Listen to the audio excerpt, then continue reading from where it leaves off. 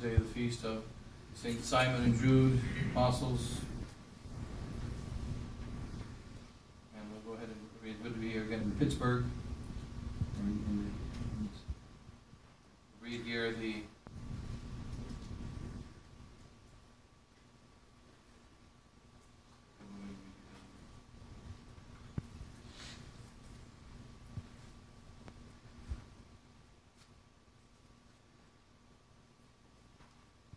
The epistle taken from St. Paul's to Ephesians chapter 4, of the feast of St. Simon the Jew. Brethren, to every one of us is given grace according to the measure of the giving of Christ. Wherefore he saith, ascending on high, he led captivity captive. He gave gifts, he gave gifts to men. Now that he ascended, what is it but because he also descended first into the lower parts of the earth? He that descended is the same also that ascended above all the heavens, that he might fill all things.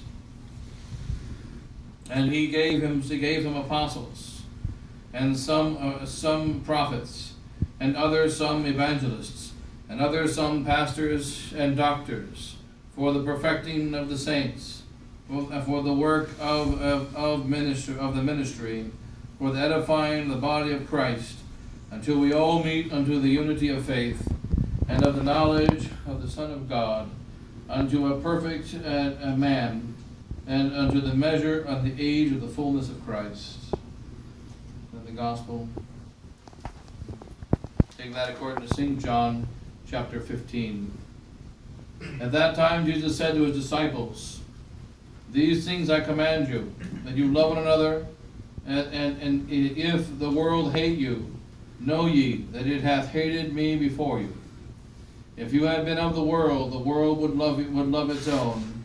And because you are not of the world, and uh, but but I have chosen you out of the world, therefore the world hateth you. Remember my word that I said to you, the servant is not greater than the master and his master. If they have per- per- persecuted me, they will also persecute you. If they have if they had if they have kept my word, they will keep yours also. But all these things they will do to you for any any for my name's sake, because they know not him that sent me. If I had not come and spoken to them, they would not have sinned. But now they have no excuse for their sin. He that hateth me hateth my Father also. If I had not, not done among them the works that no other man uh, hath done, they would not have sinned.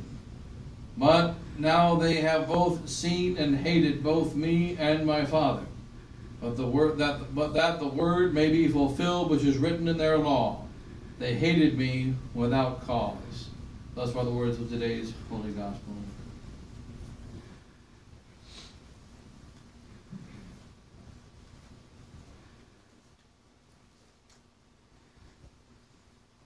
In Father, and the Son, and the Holy Ghost, amen. Here, our Lord, on Holy Thursday night, is about ready to go into the great battle of Good Friday. First, he's going to sweat his blood, then he's going to go to the cross, and he speaks about the world. Here he speaks about the world in John chapter 15, and during that uh, sermon, during his discussion, three hour discussion with the apostles. And then later on that night, before he leaves, he will pray just before he goes to the Garden of Gethsemane. And in that prayer, he will pause in the midst of his prayer and he will say, I pray not for the world.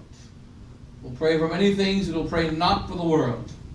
And so that to make it very clear that he is at enmity with the world, we know that Christ is at enmity with the devil. Everyone knows that uh, God hates the devil and the devil hates God. No one really has a plan to make Satan Christ's friend, or to make Christ Satan's friend, or to make a truce between them. We recognize there can never be a truce between God and Satan. But what about the world? Was not the world created by God? God created the heavens and the earth.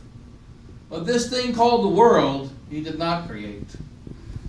When we say the world in the sacred scripture in the Holy Gospel, is referring to those souls, the people, the mass, the mob, Our Lord Jesus Christ created two kinds of things inside of us. He made us individuals, and He made us a part of society. We're a part of the society of the church. We're part of the society of humanity. We're part of the society of the entire universe. We're part of the society of the mystical body of Christ and the society of men created by God. And as individuals, we are creatures made by God for His glory. And our individuality is related to society, and our society in relation to individuality. But then there is something called the world. The world is a kind of mush. The world doesn't have a precise definition.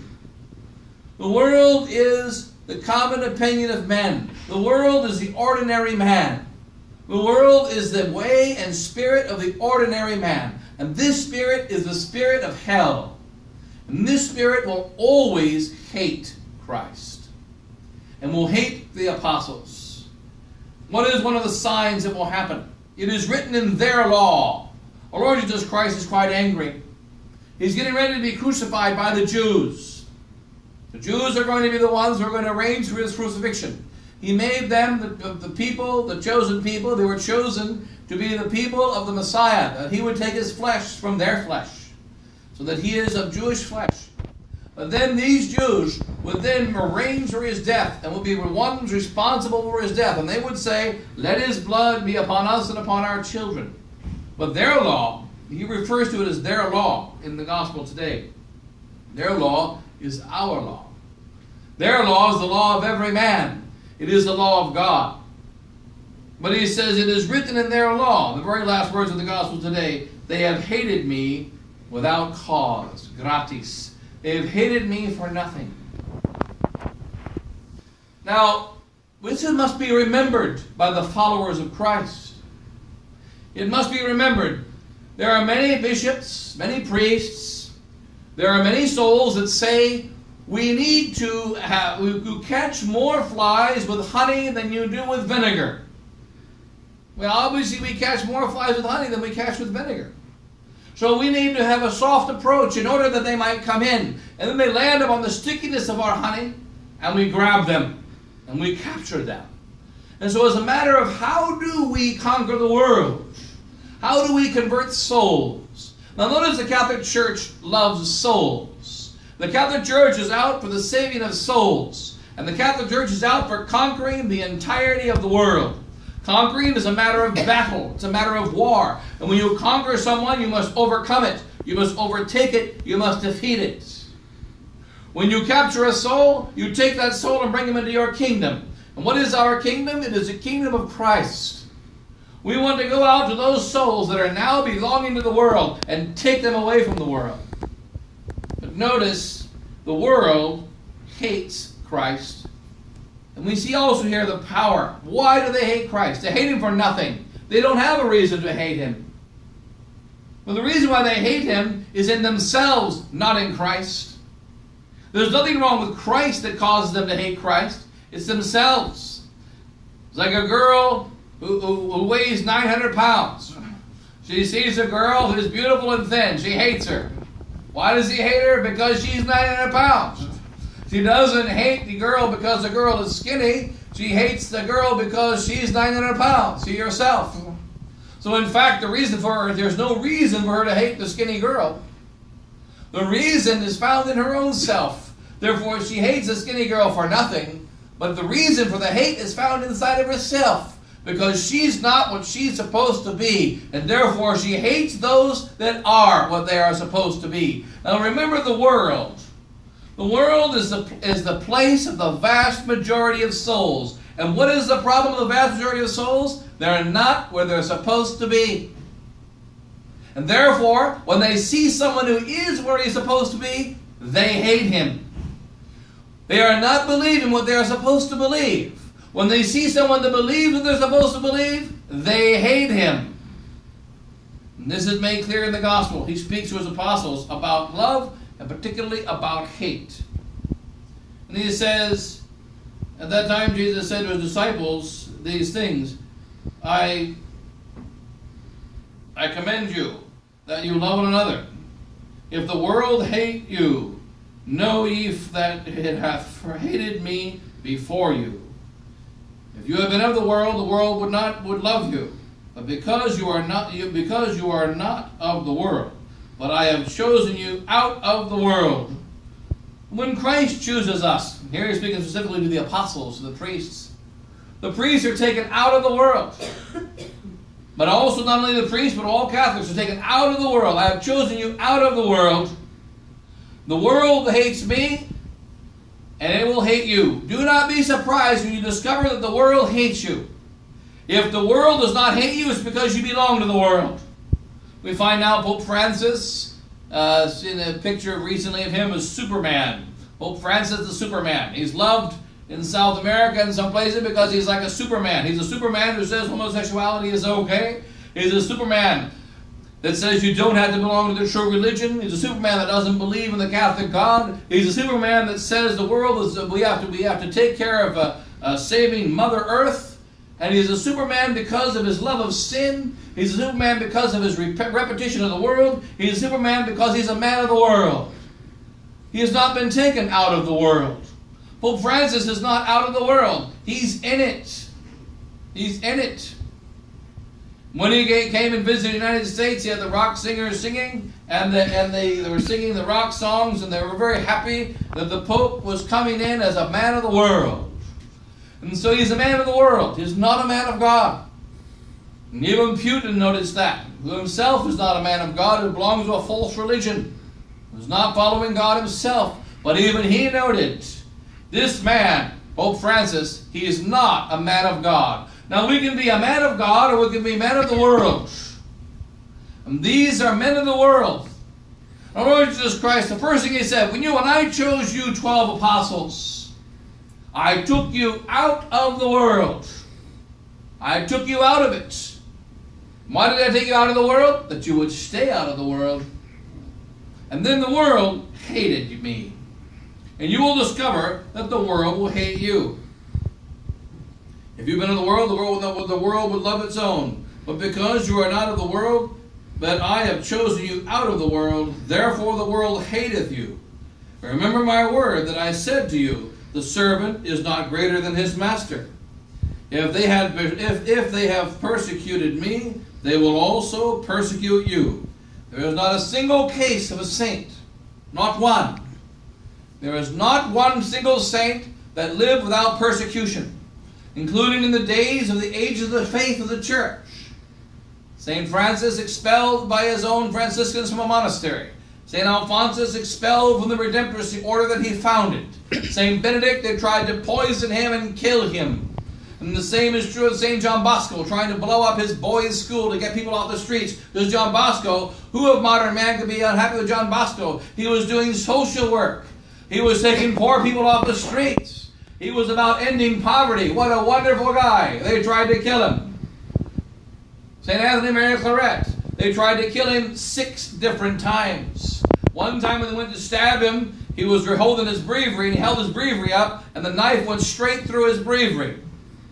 The fact is, no one who loves God, as a priest of God, no priest of God who speaks the divine truth, no priest of God who does the work of God can go through life without being persecuted or hated at any time in human history. They hated Elias. They hated, they hated Daniel and threw him in, in the lion's den. They hated Moses. They complained about Moses in the desert. They hated Joshua. They turned against each one who was a follower of God. And there is not going to be an exception. And if you're an exception, guess what? You're not. You're not. You are not hated by the world not, not hated by, by the men of the modern world, then you are not the friend of God. The priest, however, he will not only be hated, and here it is made sure, make Christ points out, the world will hate you, because it also hated me. You'll be persecuted. The servant is not greater than the master. Therefore, you will also be hated. If they have persecuted me, they will also persecute you. Not they might persecute you, they will also persecute you. St. Pius X, they hated him. Absolutely hated him. Archbishop Marcel Lefebvre, one time traveling to South America, they put a bomb to blow him up. The bomb did not go off. And he was called with the most wicked words, hated and despised. The fact is that there will always be hatred for those that teach the truth and follow Christ. If this hatred is not there, then it is certain that we are not of Christ. It is certain. If the hatred is there, then we may be of Christ. For some of the enemies of Christ are also hated. Therefore, it's not sufficient that we be hated. But if we are hated, then we may be of Christ. If we are not hated, then certainly we are not of Christ. May, may they, uh, they, they, may they have persecuted me, they will also persecute you. If they have, if they have, um, but if they have heard my word, getting worse. If they kept my word, if, if, they if they have uh, kept my word, they will keep yours also. They will keep yours also. The fact is that we priests of God, as a priest of God, I have in me a divine power that comes from God, not from me. It comes from our Holy Mother, the Church. And when, as a priest of God, I speak to you the divine truth, if you hear it, you will keep it. Why will you keep it? Because I speak the truth that Christ spoke.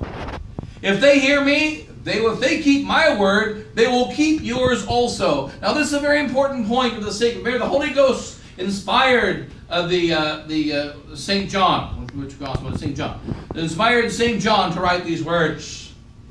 If they keep my word, they will keep yours also. You know that one of the mistakes that we make we see it's all about the delivery. It's all about the delivery. If you give an interesting sermon, people like that. They're going to listen. And if you give a boring sermon, they're just going to fall asleep. And so, interesting sermon is exciting, boring sermon is boring. It's all in how you express it. But our Lord Jesus Christ said to his priests down the next 2,000 years, one priest seminary, one professor we used to have in the seminary, his name was Lauren. We used to call him Boring Lauren. It was metaphysically impossible to stay awake during his class. He used to take a, uh, I won't say his last name, but some will know it, but he used to take a, uh, a chalk, and he would stand in the classroom, and he would give a scripture class. And he, was, and he would talk, and he would say, the Bible is the Word. And he would take the chalk and throw it in the air at the same height, and you watch the chalk go up, and down, and you would, you, I know hypnotism is real. So they would go up and down, and you would just be gone. And you know, the hours and weeks and months would pass, and sounds came from the front of the classroom, and then finally the bell rang, and it was the end of class. Now, what was in the class, I don't know, but it was downright boring, from boring Lauren. Some people were able to actually miraculously stay awake during the class. Other people could not stay awake during the class. It's all in the delivery. But our Lord Jesus Christ says, no, it's not in the delivery. When Boring Lauren speaks the divine truth in the most boring manner, what happens? It changes souls. And when Arius, who was a great preacher, and when Abelard, another stinking heretic, who explained well his lies, when they spoke, stood up and spoke their lies, people were interested in what they had to say, and it damned their souls. And now we have forgotten their lies. They are forgotten. It does not stick. What is it that makes the word of the priest stick when the word of the priest matches in teaching what Christ spoke? He put a divine power. A hand was placed, two hands were placed upon my head when I was ordained a priest. And then we were sent out to teach the Word of God. And there was when, the, when my hands were consecrated, the hands were consecrated by the bishop, and it says, What these hands bless, it shall be blessed. What these hands consecrate, it shall be consecrated. And why is that? Because God put His power in these hands. And God put His power in my mouth. And God put His power in my whole being. And if I use it not, I am an enemy of God. But as the disciple and apostle of our Lord Jesus Christ, I must use his words and I must use his hands. And I must use the feet to carry the holy gospel. And the power is there. Where is this power? It is not in the method. It is not in the style. Some give hellfire and damnation speeches. Some give nice speeches. Some give speeches you can't comprehend. But if the word is the divine truth, if the word is that of sacred scripture, if the word is that of our holy mother the church down the last 2,000 years, if the word is the repeating of the teaching of our ancestors, then whoever hears, whoever has the heart of Christ, will hear and will understand. He will hear and he will understand. We don't need great preachers. We don't need great leaders. All we need is to communicate the divine faith. God put the power.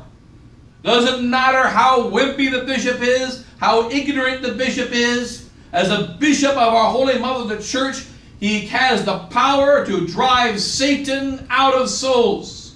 He has the power to drive Satan out of the church by simply speaking the divine truth. And the Bishop of Rome still has that power to this day. And the great wickedness is that the Bishop of Rome, the Holy Father, what has he done? He's made himself a man of the world. Christ took him out of the world, but he has dived back into it. He took the bishops out of the world, and they have dived back into it. He took the priests out of the world, and they have dived back into it. And therefore, the world hates them not.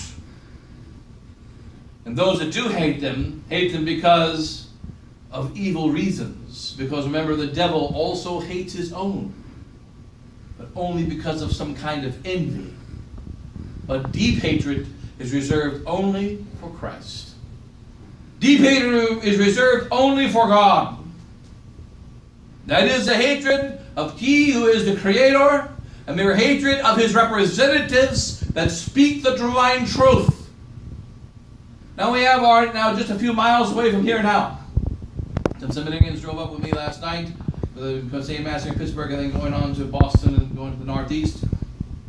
And there's uh, some of the some of the young men are going to go over to the little conference there in Weirton and hand out little flyers at the Modernist Conference, 30 miles from here, wherever it is, not far away. And that the uh, the Catholic Identity Conference there has been a change in the laws of faith. What has happened? Our priests are now representatives of the world, representatives of common opinion, representatives of what we people have in common. And they are striving to make Christ acceptable to the world. He shall not be acceptable to the world. He shall not be. He shall never be. The world must hate Christ, and the world must hate his followers and there must be a persecution. And yet at the same time, there will be those. There will be those who wish to hear the divine truth. There will be those who want to receive the divine grace. And God will make sure that they receive it. But not through lies and compromise. Not through games. It is a great wickedness that is going on in the church. The priest says, Well, I'm, I'm not going to talk about the new Mass. I'm not going to talk about Vatican II because they won't understand yet. I'm going to let them accept that for right now, and I'm going to take them one step at a time. I want you to stop being a homosexual, and I want you to go find some girlfriends. I want you to stop murdering people and start robbing banks. I want you to stop robbing banks and start robbing convenience stores. I want you to stop robbing convenience stores and just do some petty theft because I'm trying to get a person out of stealing. You used to rob banks. Now only robs convenience stores. That's a real positive thing. And now he's only robbing of individual houses. And pretty soon he's going to not be a thief anymore. We're going in the right direction. This is the thinking of the devil, the thinking of Satan. To choose a lesser sin or what you think is a lesser sin over a greater sin. To not go after the essential problem. The Vatican II is the heretical, wicked council in which the Holy Roman Catholic priests and bishops married the world. They already served Satan in their hearts, but they married the world.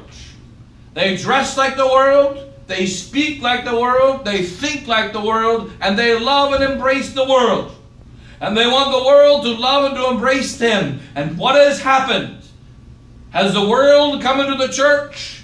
No. The church has gone out to the world. So that one billion Catholics, and the vast majority of them have left the church. The vast majority of them no longer go to church. The vast majority of them have left the teachings of our Lord Jesus Christ. And they accept to varying degrees the teachings of the world. And the priests have left and gone to the world. Now, there are those that go to the world by putting on shorts and t shirts and sunglasses, and in this way they go to the world to fit in. But you know, there's also the artsy fartsy type. Don't forget about those guys. There are the ones that like the high muckety muck stuff. They like incense. They like nice cassocks. They like Gregorian chant. They have a better taste in music, and they are of the world. So now there is a demonic part of the church which can give those worldlings the high music they want to hear, give them the incense that they want to smell, give them the Latin Mass that they want to see, and they will come in as worldlings into the Mass. And so this is called the indult. This is called the motu proprio Mass. To give to the world what they want don't give me an unbending, unchanging, immutable truth that everyone must follow. Don't tell me that we must completely reject the wickedness of the council of Satan called Vatican Council II. Don't tell me we must throw out completely the demonic new mass. Don't tell me that we must accept only the one Holy Roman Catholic Church as the only true church outside of which there is no salvation. Don't tell me I must accept all of the Ten Commandments. I don't want to hear it. You're too harsh. And if you said it nicely, I might believe it, but you're too uncharitable. You're not saying it the right way. Is that the problem? Our Lord Jesus Christ says, If they keep my word, they will keep yours also. Just the word. We can say the word nicely. We can say the word meanly. But as long as we speak the true and divine word in its entirety without deception, then the word has power. Remember, right now in the Holy Roman Catholic Church, because of its great wickedness of its members, the bishops and priests and the Pope especially, many souls are disgusted and they want to come back to a kind of tradition. And therefore, Satan has set a net. One of them is 30 miles away from here. That is a net set by Satan. He has set a net to capture souls who would otherwise come back to the divine truth. No, you don't have to come back to the divine truth. We'll give you your Latin Mass. Don't come all the way to the sacredness of the divine truth. We'll give you a little bit of a candy. You can now receive sacrilegious Holy Communion on the tongue instead of receiving sacrilegious Holy Communion in the hand. The new Mass is a sacrilege, and to receive Holy Communion in it is sacrilegious. So you have sacrilegious Holy Communion by those receiving it on the tongue from the priest. You got sacrilegious Holy Communion by those receiving it from the hand, from the from the from the uh, deacon. You got the sacrilegious Holy Communion, those receiving it in the hand, from the on the tongue, from the girl who gives out Holy Communion. You got sacrilegious Holy Communion by those receiving it from the priest on the tongue in the state of mortal sin because they're living in their twelfth marriage. Pick your sacrilege. Pick your way of being offending God. Our Lord Jesus Christ wants no offense. The new Mass is itself a sacrilege. To receive Holy Communion at the new Mass is to accept and participate in that great sacrilege. Now, if you want to also add to it another sacrilege, and another sacrilege, and another sacrilege, you're just multiplying sacrileges. One is sufficient to be eternally damned. Now, many souls don't are not fully aware of this. We still not fully aware because many soul, any soul with a clean conscience, when they go to the new mass over a period of years, recognize there's something wrong. There's something not of God here. The priests who celebrate this new mass with a clean conscience, trying to be obedient, after a time, they realize, and very not very, not very much time at all, there's something wrong here. There's something evil here. I must turn back to something better. I must go to God. And Satan knows this. Therefore, Satan puts traps. Satan puts nets. One of the nets is called the Indult Mass. This fake modernist movement of the neocons. This fake modernist movement of men who say, I don't like the spirit of Vatican II. I don't like the attitude of Vatican II. I don't like the people that travel around with that spirit. This is not a problem, a spirit, a mood, an attitude. A problem is an error and heresy and lie. A problem is evil, not simply a spirit, a mood, and an attitude. We're not fighting a spirit, a mood, and an attitude. We are fighting heresies and lies. We are fighting the wickedness going on in the modern world today. This is what we are fighting. And so, our Lord Jesus Christ said to St. Simon and Jude, who died martyrs. The only apostle that was not killed was St. John, and that's because it didn't work. They boiled him in oil, and he was preserved from it by the miraculous protection of heaven. He is therefore considered a martyr. But they boiled him in oil, the apostle of charity, who spoke only of the divine love in his old age, and they boiled him in oil. We must understand that our holy religion is unacceptable to the world. That the Vatican II Church is a church that has married itself to the world. And therefore, the Vatican II Church, like unto the world, must hate us. And if the world hates us not, and the Vatican II Church hates us not, then it means we are not of God, but of the world. Hence, we find the niceness of the modern church to Bishop Fellay. Pope Francis says Bishop Fellay is a very kind man who likes the man on the extremes. He likes the wounded duck. And he sees the society as on the extremes and a wounded duck, and therefore he has a love of the society. He's kind to the society. That same Pope that is wicked to the Franciscans of the Immaculates. And wicked to those others that stand that are moving in the direction of true tradition. Those who moving in that direction who have not even arrived yet. He's most cruel to them, most wicked to them, but kind to the society, St. Pius X. If the world loves you, if the modern Vatican II Church loves you, then you are not of God. This is what St. Paul says, or our Lord Jesus Christ said to his apostles. Now, why have they hated me? For nothing. Why do they hate? They don't hate because we're condemning them. They don't hate because we speak a truth that they don't agree with. They hate because they already know the truth in their hearts and they're not standing according to it. Like the 900 pound lady that hates the skinny one.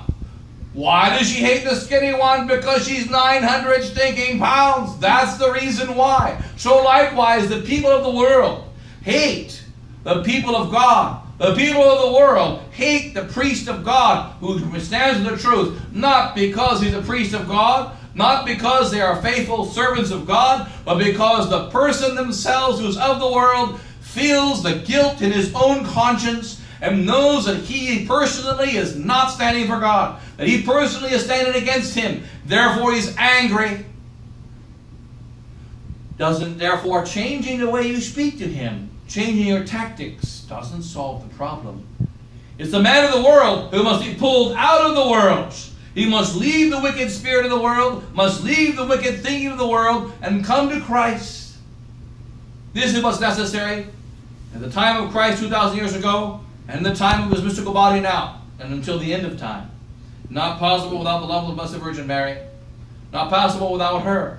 We must have a great love of the Blessed Virgin Mary, who will give us the fullness of Christ, and like her Son hates the world, so she hates the world.